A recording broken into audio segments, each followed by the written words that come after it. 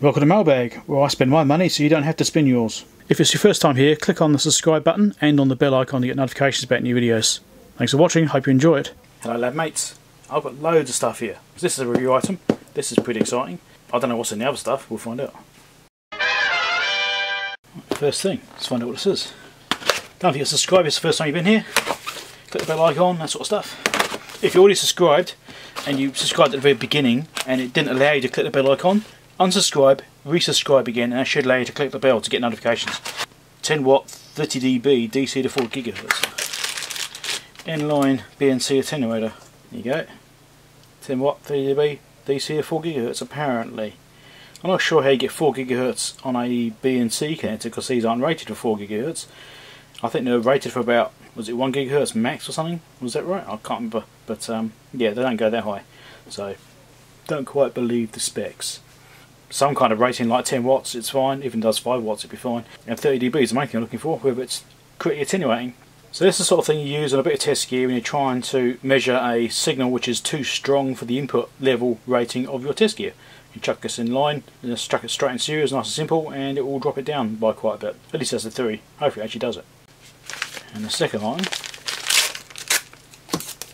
oh, I hate the stuff. Look, this is another one, different style. It's supposed to be rated at 5 watts, 10 dB. Oh, other one. In focus. So, here you go. 5 watt, 10 dB, DC to 4 gigahertz. Again, I'm skeptical about the ratings because BNCs aren't supposed to go that high because of the impedance mismatch. Anyway, 10 dB and a 30 dB. I did get these for something I was working on. There's a particular testing I was wanting to do. Now that's so long ago I've completely forgotten what it was. Yeah, I've been meaning to get these for ages anyway. I've always wanted to get some of these. How good they are, I don't know. I'll do some testing on them at some point. So here we have three packages, which are all from Element 14. So I thought, well, I'll just do them all in one go. Do one big clump of these. Yeah, they're probably capacitors something, I'm guessing. We'll find out. Oh, hello, Paul.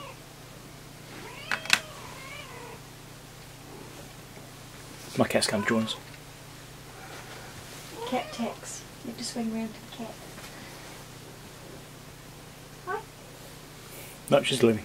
Alright, let's get started. After a couple of distractions with cats and children and stuff. Packet inside a packet. Awesome. There's two packets inside a packet. Look at that. This keeps on going. Really? All that for two capacitors? You're joking. 1000 microfarad 25 volt axial cap. Okay, what's in the next one? Oh, this one's slightly better.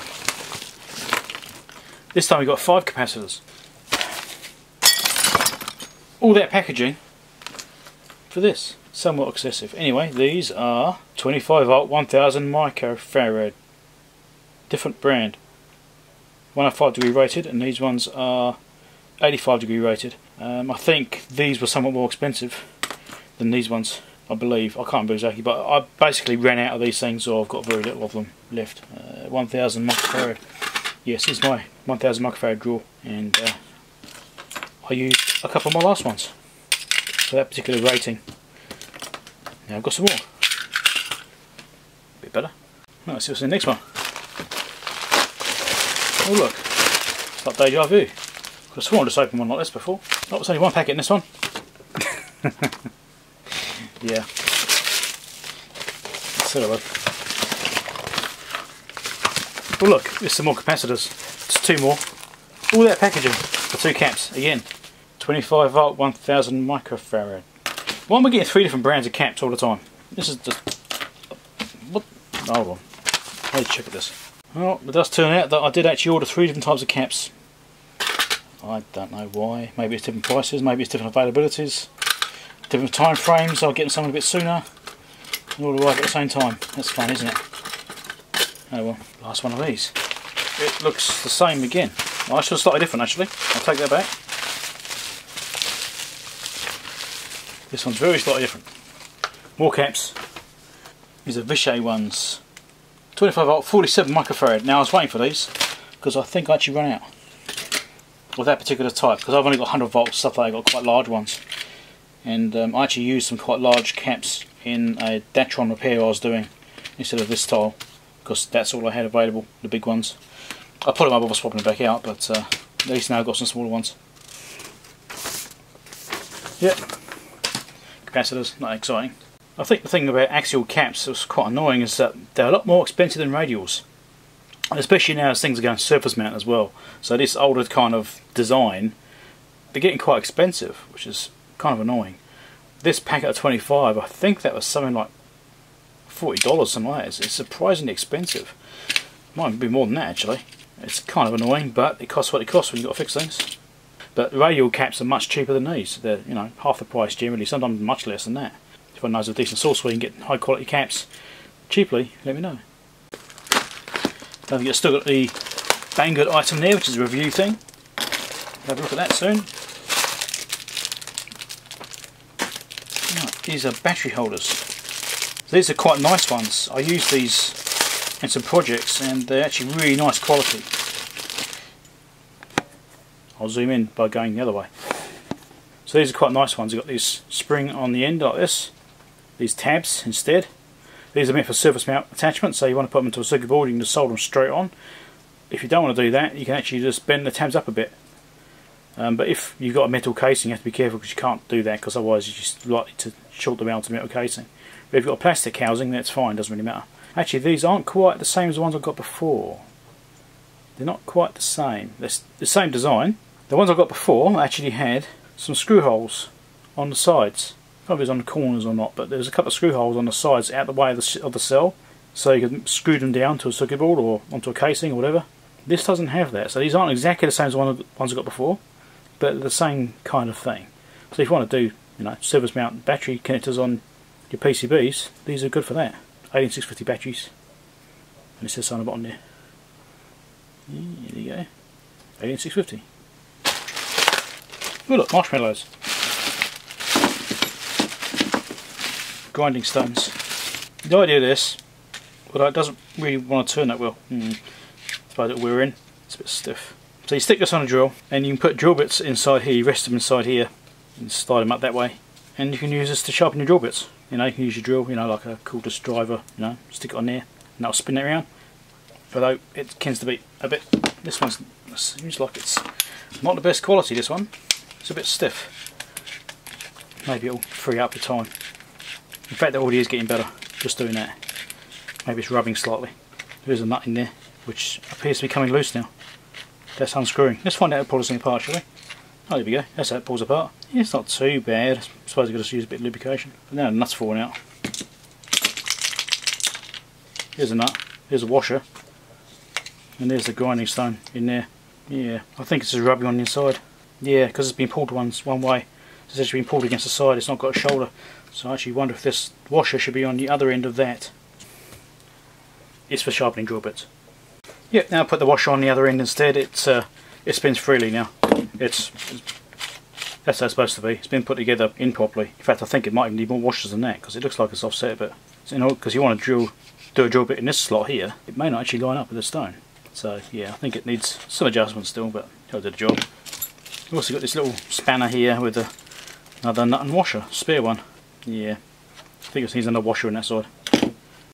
Drill sharpener is a bit cheap and nasty, it's not exactly the best thing. They are really cheap to buy. Quality is not that great, but it might be the sort of thing which would be good enough to do the job. I would have to try it and maybe let you know. But uh, yeah, it's cheap. It wasn't much, it's probably five bucks or something. Alright, so got a bunch of stuff here from RS. Four of those. Wow, there's a lot in this one.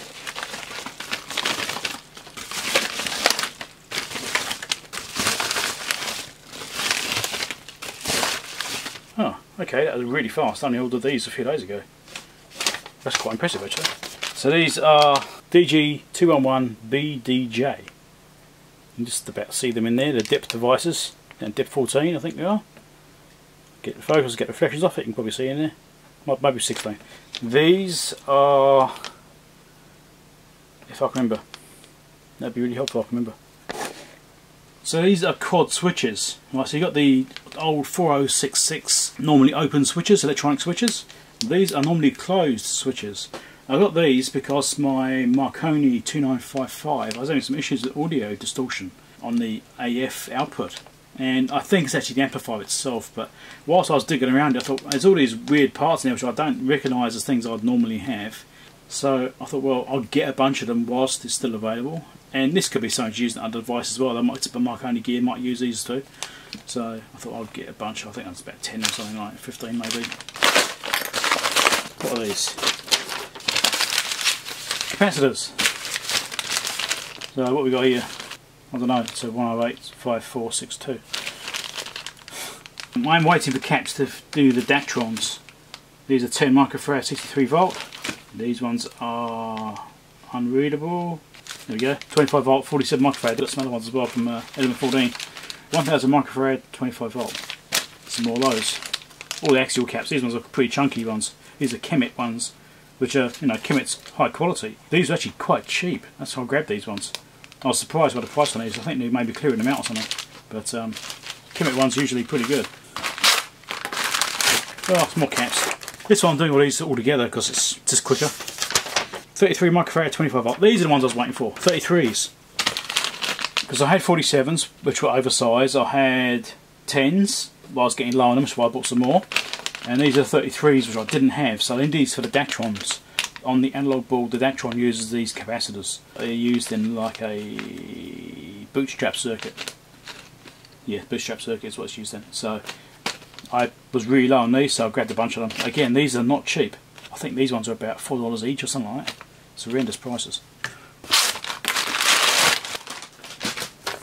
Alright, these are LEDs these are what I was using on the Datron project for the new display. SML D15 DWT86. These are 0603 sized LEDs. These ones are orange. So these are used for the annunciators. So the best to show like the kilo ohms and mega ohms and volts and stuff like that and the plus and minus symbol. Those LEDs I'm using on that. So I thought I'd get some more because I'm going to need them. Right, new item. Let's find out what's in this box. Bag. Box inside the bag. Also, I going to give you a bit of a sneak peek about what this is, but uh, get to check out the review video when I publish that, which won't be too far away. It might only be within the next couple of weeks, actually. Don't forget to check out my main channel. If you're not subscribed to my main channel, make sure you go and subscribe to that as well. At the end, after we finish watching this video, there's links down below to that in the description, as there are for all these items I've been showing you.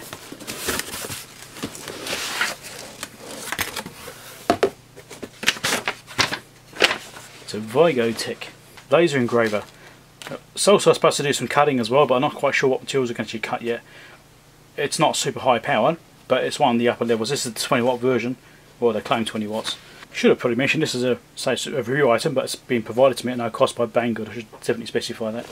And this is the Regi L7X version. So make sure you check out the links down below for this item, and also check out the review video when I actually go to do that, which shouldn't be too far away. There's lots of different laser engravers available and I chose this one because it looks pretty simple and it's 20 watts. They offer, different power ratings.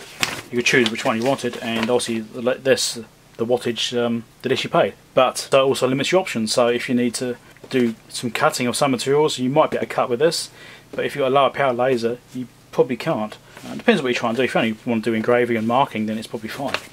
If you potentially want to do things like cut some plexiglass or something like that, maybe you'll need something a bit more like this. I don't know, I've got no idea. I've never done laser cutting myself or laser engraving, never done it.